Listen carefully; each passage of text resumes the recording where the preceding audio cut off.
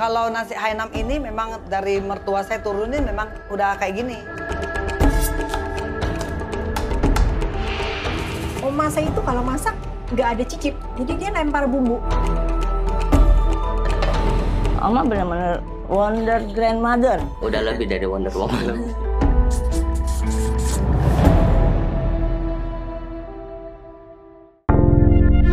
Vision Plus